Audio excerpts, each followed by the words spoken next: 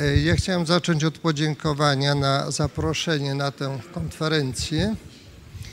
E, To już jest 20 z kolei. E, Na wielu z nich byłem obecny i zawsze to było duże przeżycie i naukowe, i takie koleżeńskie. Poznałem bardzo wielu interesujących ludzi. Uważam, że to były bardzo ważne, przynajmniej w moim życiu, konferencje.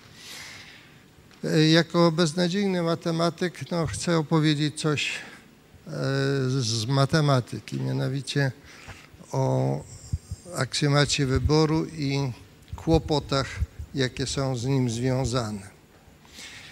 Otóż zaczęło się to w drugiej połowie XIX wieku, kiedy pojawił się w analizie, a dokładniej w teorii e, szeregów trygonometrycznych problem, e, problem wyznaczenia e, czy jednoznaczności e, rozwinięcia funkcji w szereg trygonometryczny. Ten problem podjął Georg Cantor na sugestię swego promotora Heinego i dość szybko się zorientował, że te zbiory, które można pomijać przy wyznaczeniu e, jednoznaczności rozwinięcia, mają dość osobliwą strukturę. I na potrzeby tej struktury zaczął tworzyć pojęcia, takie jak punkt skupienia, e, zbiór e, izolowany, to znaczy taki, który, e, którego skończona pochodna, pochodna to są zbiory punktów skupienia, jest pusta, zbiór domknięty, który zawiera swoje punkty skupienia, zbiór doskonały, który jest identyczny z pochodną i tak dalej. I ten świat tak go pociągnął, tak go wchłonął, że już pominął cały kontekst analityczny i na potrzeby definiowania podzbiorów różnych linii prostej, a potem ogólniej dowolnej przestrzeni euklidesowej, zaczął tworzyć aparat pojęciowy i tak się zaczęła teoria mnogości. Najważniejsze prace to opublikował w latach 72-84.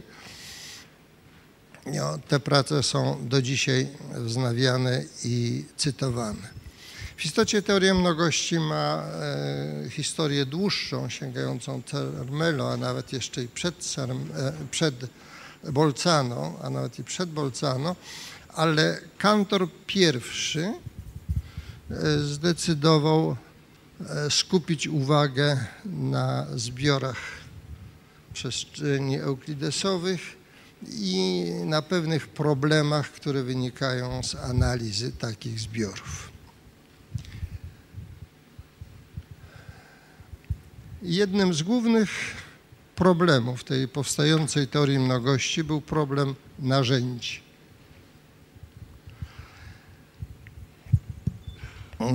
Jak te zbiory, takie bardzo dowolne, badać? Otóż tutaj Kantor posłużył się analogią do indukcji. W zbiorze liczb naturalnych i we wszystkich dziełach matematyki, które zawierają liczb naturalnych, zasada indukcji ma bardzo ważną rolę. Na wzór tej zasady indukcji Kantor sformułował zasadę dobrego uporządkowania, która głosi, że każdy zbiór, każdy daje się dobrze uporządkować. Dobrze w tym sensie, że jeżeli weźmiemy w nim dowolny podzbiór, to on ma element pierwszy. I w stosunku do takiego zbioru dobrze uporządkowanego można stosować zasadę indukcji uogólnionej i ta zasada indukcji uogólnionej była bardzo ważnym narzędziem w teorii mnogości. Jak bardzo ta zasada dobrego porządkowania jest kontrowersyjna, to może dać przykład zbioru liczb rzeczywistych. Otóż zbiory liczb rzeczywistych wedle tej zasady dają się dobrze uporządkować. Element pierwszy, drugi i tak dalej. No, co wcale nie jest takie oczywiste. Wobec tego trzeba było znaleźć jakieś uzasadnienie dla tej zasady dobrego uporządkowania. Kantor sam próbował to zrobić, nie znalazł i dopiero Cermelo w roku 1904 podał dowód. Udowodnił tę zasadę dobrego uporządkowania w oparciu o pewnik, który nazwał aksjomatem wyboru. Aksjomat ten głosi, że dla każdej rodziny zbiorów parami rozłącznych można wybrać po jednym elemencie z każdego zbioru. Otrzymać taki selektor. Istnieje taka funkcja wyboru. No ten aksjomat wyboru od razu wzbudził e, zaniepokojenie.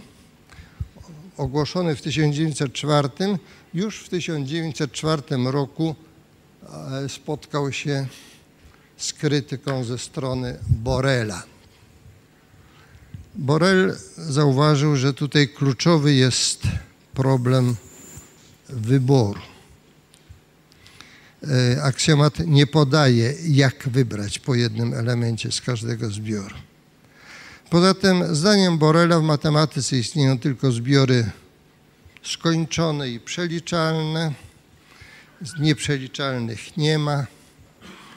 E, wobec tego aksjomat mm, wyboru należy w całej ogólności odrzucić.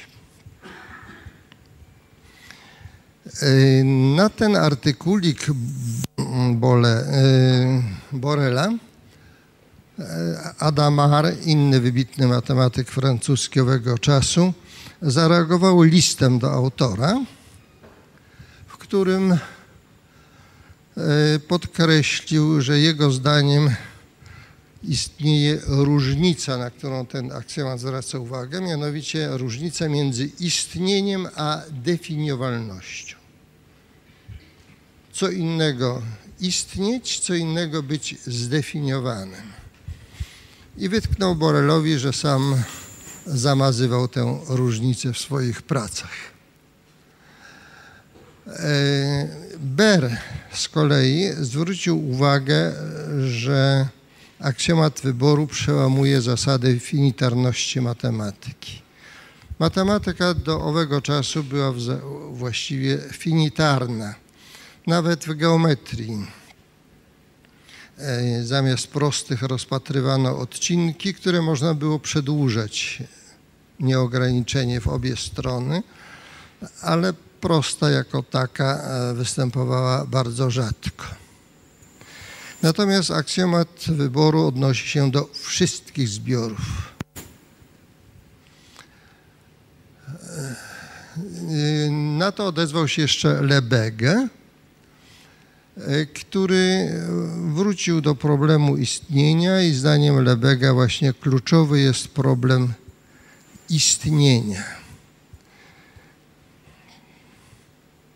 E, istnieć, można istnieć, a nie być zdefiniowanym, a tak e, w ogóle to jest problem, jak udowodnić istnienie bez podania konstrukcji, bez określenia, bliższego określenia tego przedmiotu, czy takie obiekty można w matematyce dopuszczać. E, zdaniem Lebega, który sam tutaj grzeszył, jednak odpowiedź powinna być nie. Każdy obiekt matematyczny powinien być zdefiniowany. Sam dowód istnienia nie wystarczy. Adamar się z tym nie zgodził. Napisał, że ważny jest fakt istnienia, a nie sposób e, wykazania tego istnienia. E, że należy dopuszczać w matematyce także obiekty, e, o których można udowodnić, że istnieją bez podania ich konstrukcji. I że aksjomat wyboru wprawdzie przekracza granice, ale matematyka zawsze przekraczała granice i trzeba iść w ślad takich wyłomów. Także Adamar jako jedyny z pewnymi zastrzeżeniami dopuszczał aksjomat wyboru. Borel podsumował tę całą dyskusję, wyrażając opinię, że aksjomat wyboru można dopuścić jako heurezę, ale w ślad za tym powinien iść dowód konstruktywny, podanie precyzyjnej definicji albo konstrukcji. Tutaj pojawia się ważne rozróżnienie, które do dzisiaj jest w matematyce używane, mianowicie dowód efektywny to jest taki, który zmierza do podania obiektu, zdefiniowania, określenia, a dowód nieefektywny to jest taki, który stwierdza istnienie takiego obiektu, ale bez podania jego konstrukcji. I takie dowody nieefektywne opierają się nie tylko o aksjomat wyboru, ale także na przykład o teorię kategorii Bera czy teorię miary Lebega. Jeżeli udowodnimy, że obiekty pewnego typu, na przykład funkcje ciągłe, nigdzie nieróżniczkowalne, stanowią zbiór drugiej kategorii Bera, to jest duża kategoria, to znaczy, że one istnieją, stanowią większość nawet. Podobnie, jeżeli udowodnimy, że jakieś obiekty stanowią zbiór miary dodatniej, to znaczy, że jest ich dużo, one istnieją. I to rozróżnienie efektywne, nieefektywne istnieje do dzisiaj. W głos zabrał także Poincaré. Poincaré zajął odmienne stanowisko. Mianowicie on twierdzi, że kluczowa w matematyce jest rola intuicji. A ponieważ zasada wyboru dla zbiorów skończonych jest oczywista, jeżeli mamy skończoną rodzinę zbiorów skończonych, to oczywiście możemy wybrać po elemencie. Chociaż nie potrafimy tego udowodnić, to należy przyjąć aksjomat wyboru w jego całej ogólności, właśnie w oparciu o intuicję, jako swego rodzaju zdanie syntetyczne a priori. A więc Poincaré był jednym z tych odważnych obok Adamara, którzy dopuszczali aksjomat wyboru. Na świecie reakcje były na ogół negatywne. W Niemczech Bernstein i Schenflis bardzo ostro atakowali Cermelo. Natomiast Hamel w oparciu o aksjomat wyboru zdefiniował swoją bazę Hamela, która do dzisiaj funkcjonuje. Hausdorff, rozwijając teorię mnogości, bez oporów stosował aksjomat wyboru, uzyskując pewne wyniki. Dla nich był on w pełni uprawnionym narzędziem. W świecie jednak przeważały opinie negatywne. W Anglii Russell przewodził opozycji, w Holandii Brouwer zaczął wtedy budować swoją matematykę konstruktywną, w której nie ma żadnych nieokreśloności w rodzaju wyborów. We Włoszech Peano przypomniał, że on zawsze był przeciwko dowolnym wyborom.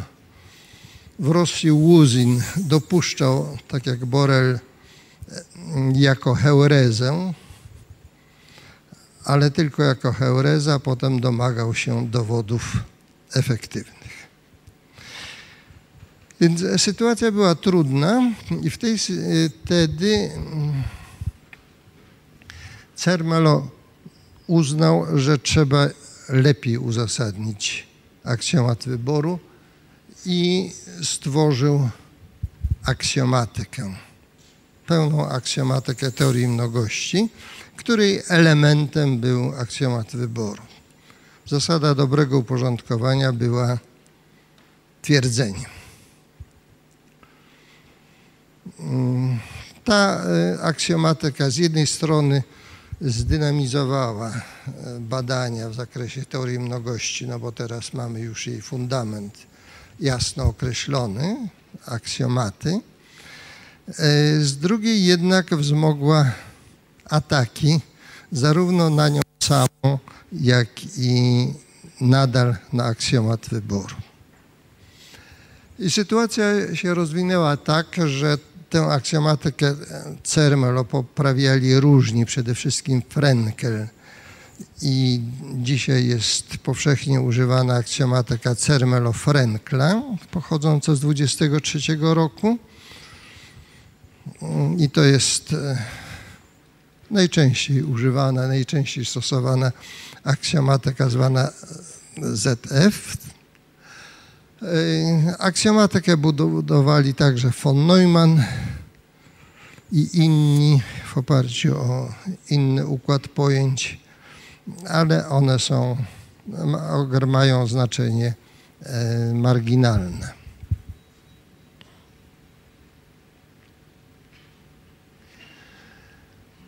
I sytuacja się zrobiła na początku lat dwudziestych nieprzyjemna. E, mianowicie mm, temperatura sporów była wówczas bardzo wysoka. Czy można przyjmować aksjomat wyboru, czy nie przyjmować? E, chodziło o kwestię dla matematyki fundamentalną i świat matematyczny wydawał się podzielony na dwa obozy. Niewielki zwolenników, którzy w oparciu o aksjomat wyboru dokonywali różnych odkryć, dowodzili różnych twierdzeń i rosnący w siłę, a także i intensywność ataków obóz przeciwników aksjomatu wyboru.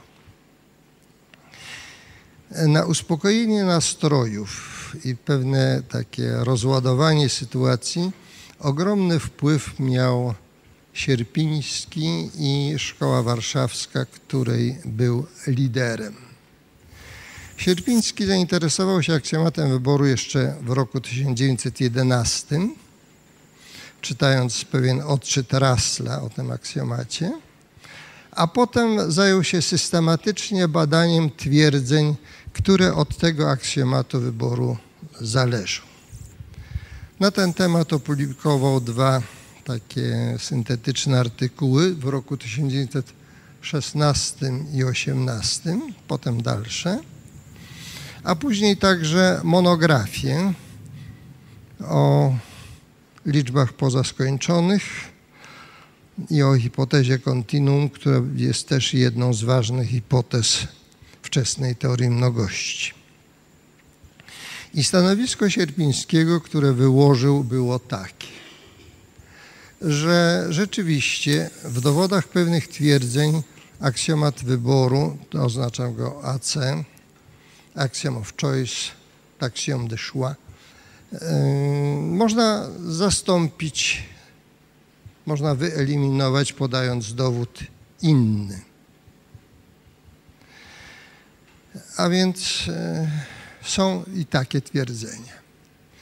Druga uwaga, kluczowa. Aksjomat wyboru nie doprowadził do tej pory do sprzeczności, a więc nie ma istotnego powodu, żeby go odrzucić. Co więcej, argument trzeci, w dowodach różnych twierdzeń aksjomat wyboru bywa niezastąpiony. Nie tylko e, jest konieczny, ale no nie daje się go wyeliminować przez inne rozumowanie, nie oparte o jakąś zasadę wyboru. I przykładem takiego ważnego twierdzenia dla analizy matematycznej jest twierdzenie o równoważności definicji, dwóch definicji ciągłości.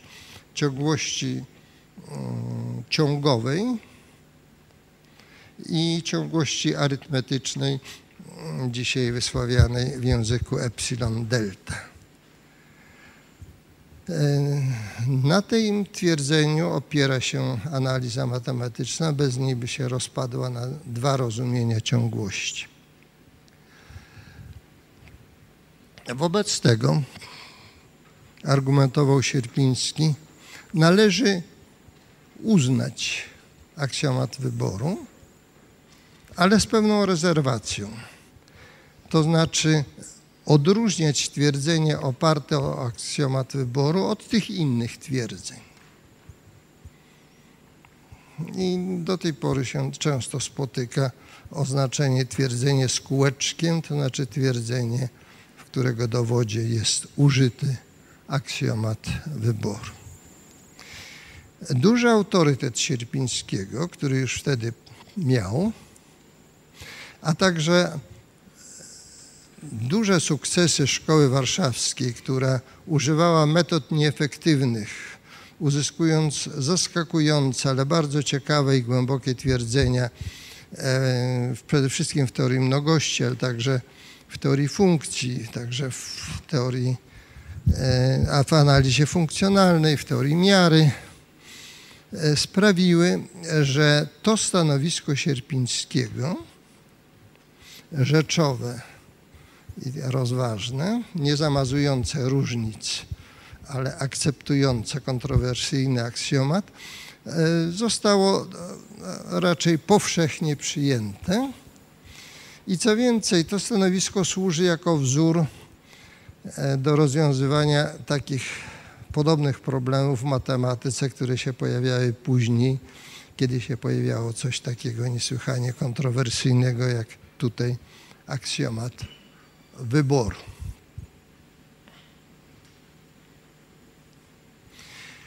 W kilka lat później Banach i Tarski ogłosili pracę opartą o aksjomat wyboru, w której udowodnili, to jest znane dzisiaj jako paradoks Banacha Tarskiego, e, wersji uproszczonej Wersja ogólna jest e, znacznie ostrzejsza. Wersji uproszczonej, ale która pokazuje siłę tego paradoksu, e, brzmi on tak, że kulę jednostkową w przestrzeni trójwymiarowej można rozłożyć na skończenie wiele części i z tych części złożyć dwie takie same kule jednostkowe można mnożyć złoto w nieskończoność, jeżeli to zastosować do kuli ze złota.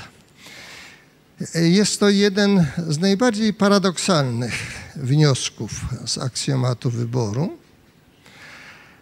ale na wpływ Sierpińskiego, wtedy wyraźnie już widoczny, wskazuje i to, że ten paradoks wyboru, e, ten paradoks Bana Hatarskiego został przyjęty. No, no jest taki paradoks. On niczego nie zaburza. Wiadomo, że wynika z aksjomatu wyboru. Jest. Do sprzeczności to nie prowadzi. Co najwyżej wymaga to rewizji E, naszych koncepcji, na przykład koncepcji miary. Gdyby te zbiory były mierzalne, to taki paradoks nie powinien mieć miejsca.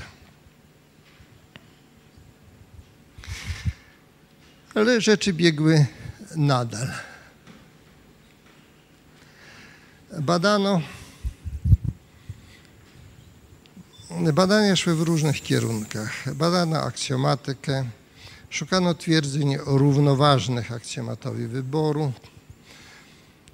Eee, badano miejsce i rolę tego aksjomatu w aksjomatyce Cermelo-Frenkla. I tutaj chciałem przytoczyć dwa wyniki, które mają znaczenie e, bardzo duże. Mianowicie w roku 1938 Gödel pokazał, że jeżeli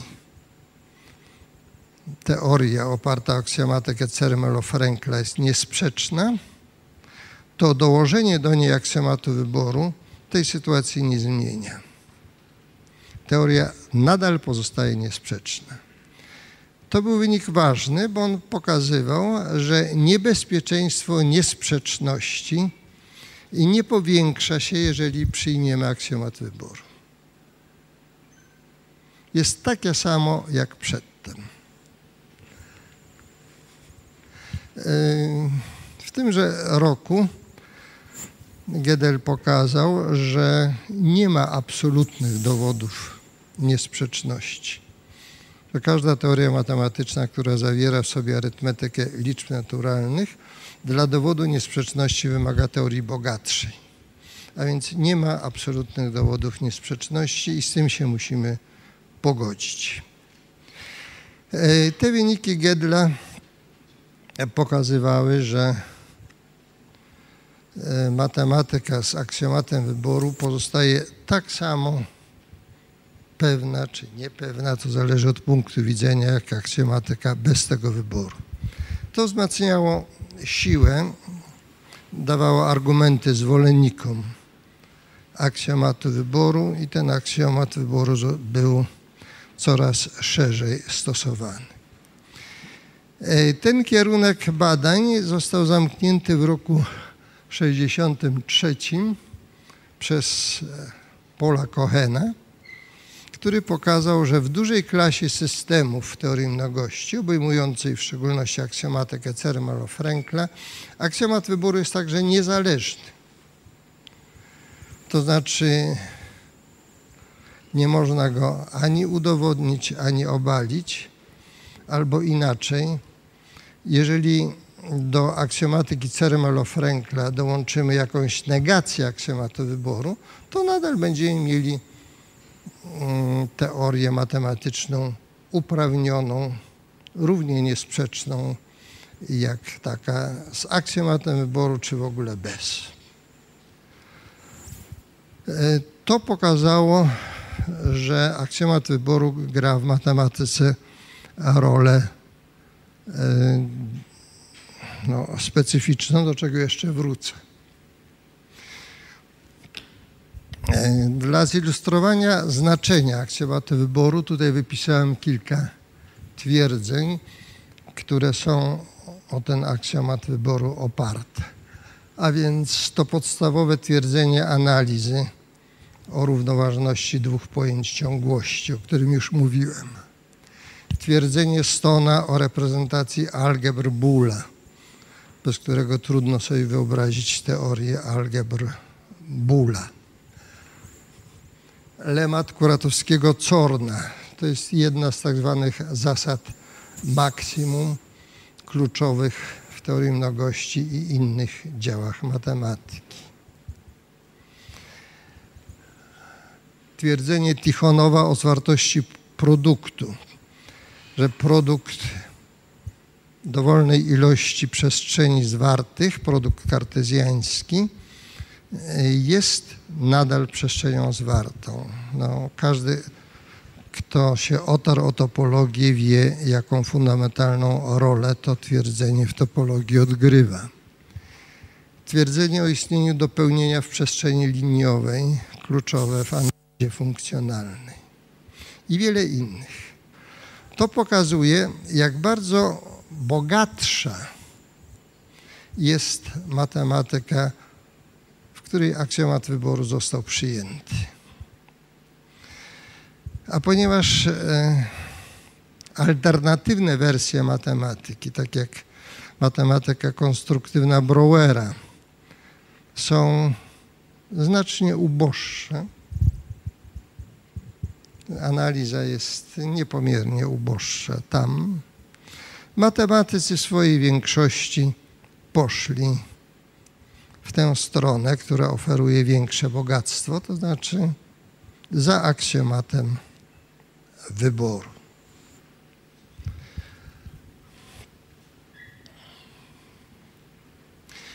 Jednym z kierunków badań był kierunek taki.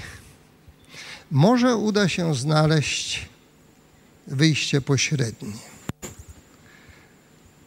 które pozwoli zastąpić aksjomat wyboru przez zdanie dostatecznie silne, żeby dawało na przykład te wyniki, które przed chwilą były sformułowane,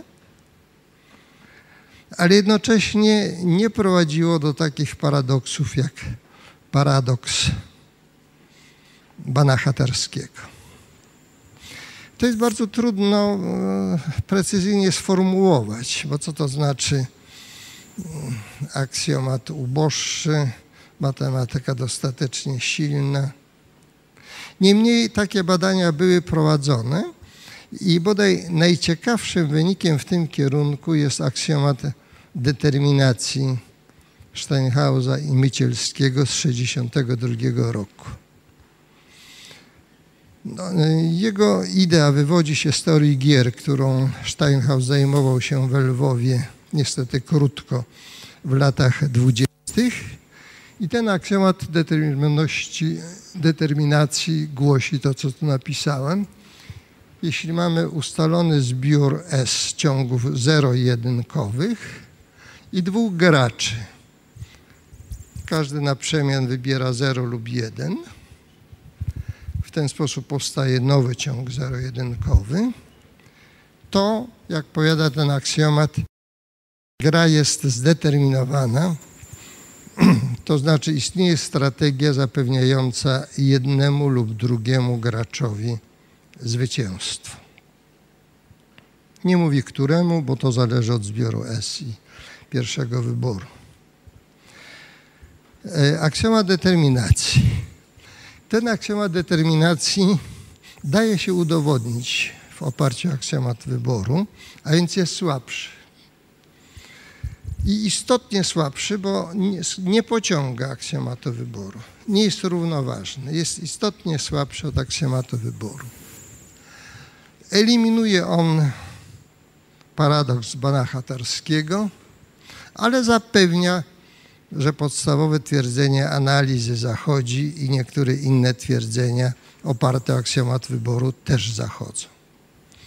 Jednocześnie jest przyjemny dla niektórych, Łuzyn by się tu bardzo ucieszył, bo w oparciu o aksjomat determinacji można udowodnić, że nie ma zbiorów niemierzalnych.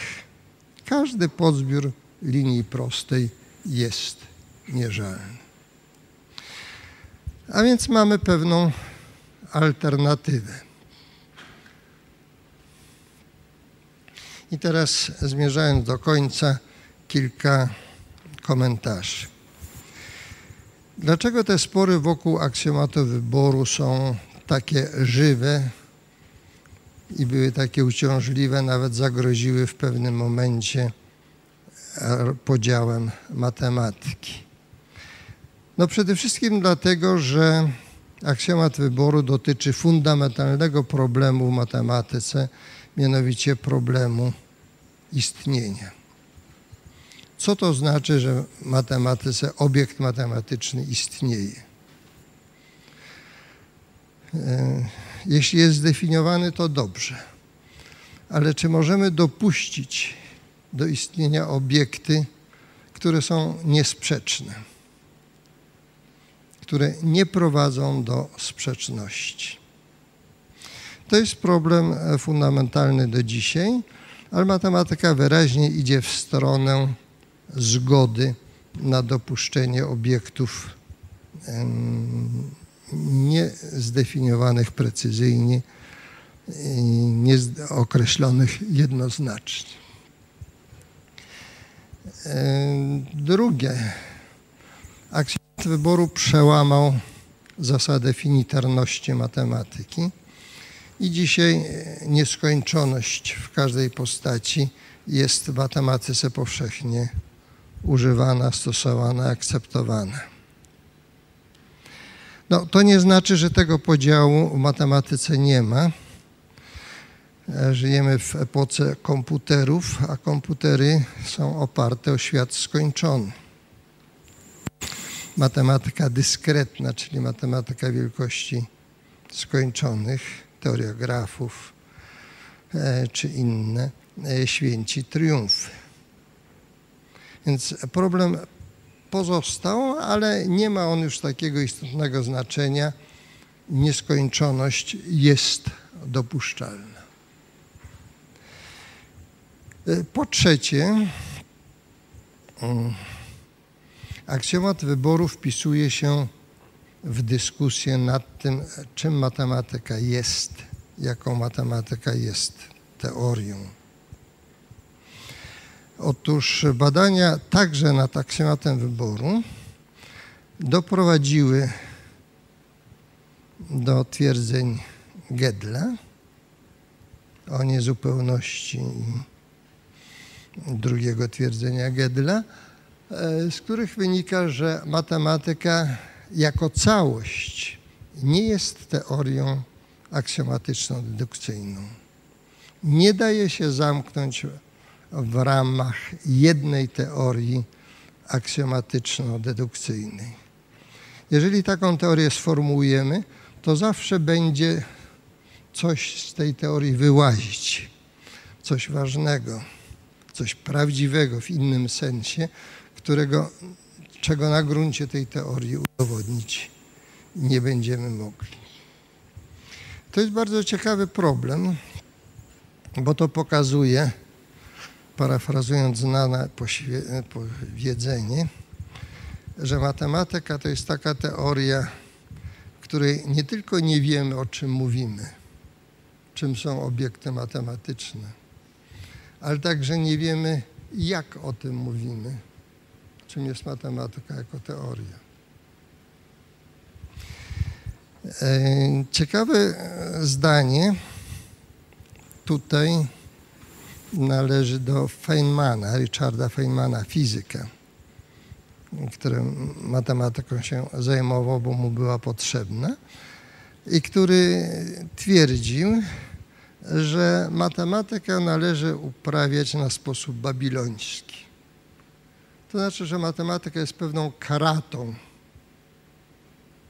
twierdzeń powiązanych z zależnościami, ale nie należy pytać o te twierdzenia na początku, czyli o aksjomaty. Tylko należy ją tak rozwijać jako tę kratę, jako pewien sposób widzenia, specyficzny sposób widzenia świata. E, kolejna uwaga. Ta dyskusja nad aksjomatem wyboru trwa już ponad 100 lat. I ona pokazuje, że dla rozwoju matematyki mają znaczenie nie tylko bodźce, które przychodzą z zewnątrz, ale także wewnętrzne pytanie. Pytanie o aksjomat wyboru nie ma żadnego, mm, żadnej korelacji z jakimkolwiek zjawiskiem na świecie. Jest pytaniem wewnętrznym, strukturalnym matematyki. Bodźce wewnętrzne grają w matematyce również istotną rolę, równie istotną jak zewnętrzne. Czy to jest punkt dla platonizmu? Nie, można mieć różne zdania. E, kluczowy tutaj jest problem prostej rzeczywistej i różnych zdań o podzbiorach tej prostej rzeczywistej, takich jak na przykład hipoteza continuum. Hipoteza continuum też należy do tych twierdzeń teorii mnogości, które okazały się niezależne od aksjomatyki Cermelo-Frankla. Można przyjąć stanowisko nominalistyczne, że no jest jak jest. Mogą być różne teorie matematyczne z aksjomatem wyboru bez, z, z hipotezą kontinuum bez. Wybierajmy tę, która jest nam do jakichś celów potrzebna.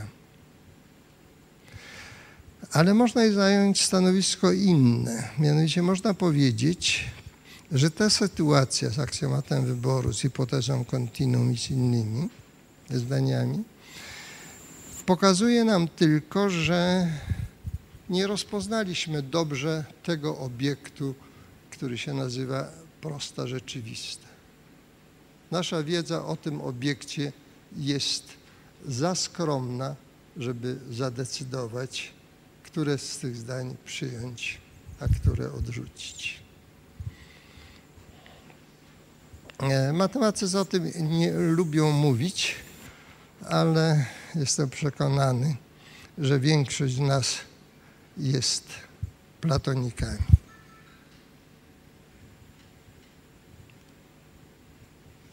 Dziękuję.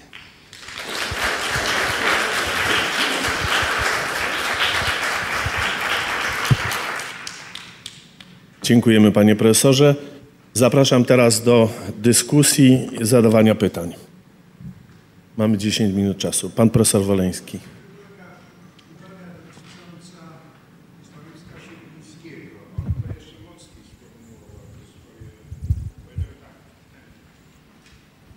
To chyba po raz pierwszy w tym już drugim wydaniu teorii mnogości, czyli z lat dwudziestych, bo w pierwszym tego nie ma, E, że kontrowersje wokół aksjomaty wyboru są filozoficzne.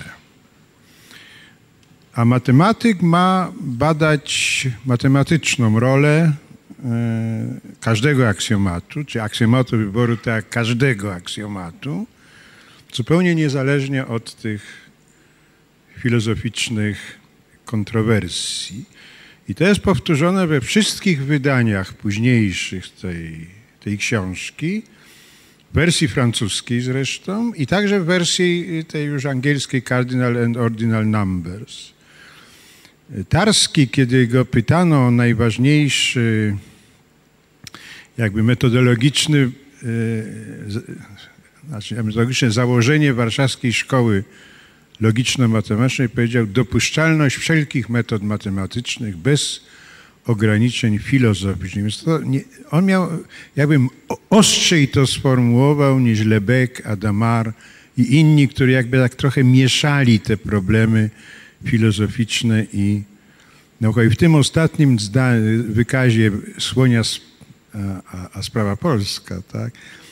Ty nie mówiłeś o tym, ja bym jeszcze dodał nazwisko Lindenbauma chociażby za pracę z 26 roku wspólnie z Tarskim, gdzie była cała masa twierdzeń o aksjomacie wyboru i no, ta słynna hipoteza o relacji między aksjomatem, hipotezą kontinuum a aksjomatem wyboru, co później udowodnił Sierpiński, to już lata, lata całe, to takie uwagi.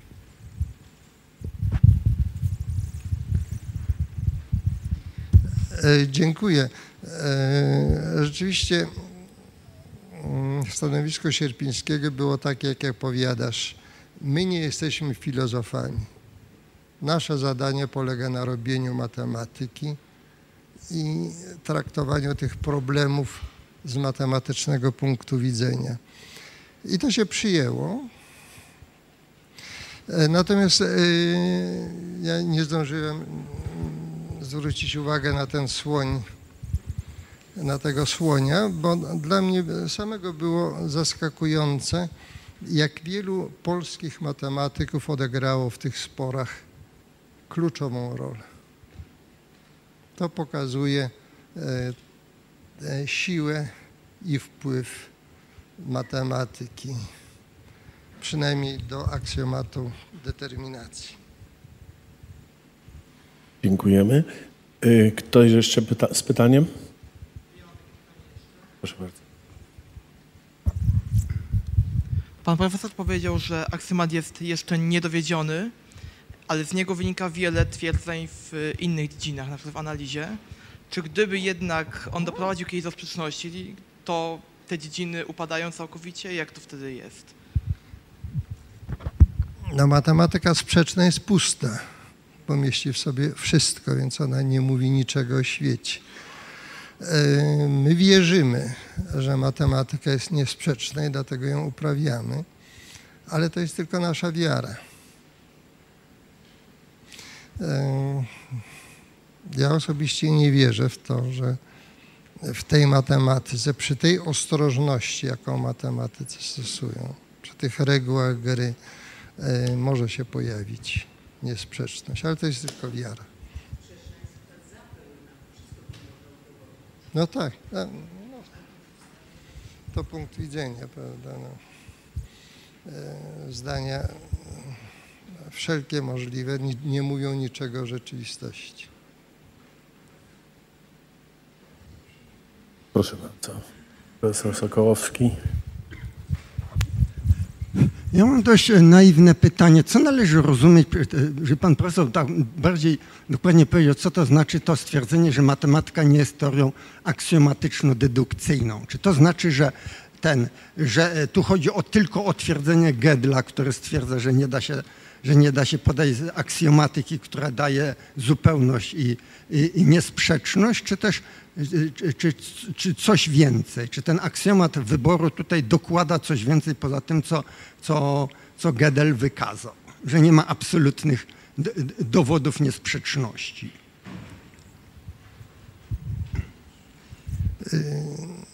No tutaj głównie chodzi o twierdzenie Gödla, że mm, nie ma dowodów niesprzeczności, że matematyka, która zawiera, teoria matematyczna, która zawiera teorię liczb naturalnych jest niezupełna. A więc e, zawsze będą zdania, jakąkolwiek aksjomatykę przyjęlibyśmy na początku, zawsze będą zdania sensowne, a nawet prawdziwe, rozstrzygalne, których udowodnić w oparciu o te aksjomaty nie można. Więc tu o to chodzi, że nie ma takiego fundamentu złożonego ze skończenia wielu aksjomatów dla całej matematyki. Natomiast matematyka pozostaje nauką dedukcyjną. Tyle, że tę dedukcję należy też rozumieć e, more matematico, że tak powiem. To znaczy, jeżeli matematyk drugiemu relacjonuje dowód, to relacjonuje go do momentu, w którym ten pierwszy rozumie. Dalsze szczegóły nie wchodzi. Próby rozpisania dokładnego, e, tak jak to lubią logicy dowodu, prowadzą na przykład do takiego paradoksu, że w książce Russella Principia Mathematica dowód, że 1 plus 1 równa się 2 zajmuje dwie stronice. No to jest dla matematyków niedopuszczalne. Więc to jest taka dedukcja, powiedzmy, nie do końca logicznie. E, to nie jest dedukcja formalna. Tak ale to jest dedukcja lokalna dla matematyków w pełni akceptowalna. No, gdyby była potrzeba, ale matematycy nie wierzą, że taka potrzeba istnieje. W pryncypie matematyka się przeżyły. Mamy jeszcze trzy minuty. Czas na jedno pytanie. Pan profesor Woleński. trochę dziwię matematykom, że tak mówią, my wierzymy w niesprzeczność. Zasada jest taka, jak w prawie, in dubio pro reo. Sprzeczność pokazałaby, że matematyka jest winna. Dopóki nie udowodni, że jest winna, jest niewinna. I to jest całkiem racjonalny, całkiem, nie, ja- to jest całkiem racjonalny powód, empiryczny zresztą. To nie jest kwestia tylko wiary. Położę trochę akcentu na tę wiarę, bo to nam daje y, przekonanie, że warto to uprawiać. I ostatnie pytanie. zdanie a propos, mianowicie y, wydaje mi się, że większość matematyków przyjmuje stanowisko burbakistów. Jeśli przez 2,5 tysiąca lat nie natknęliśmy się na sprzeczność, to pracujmy dalej.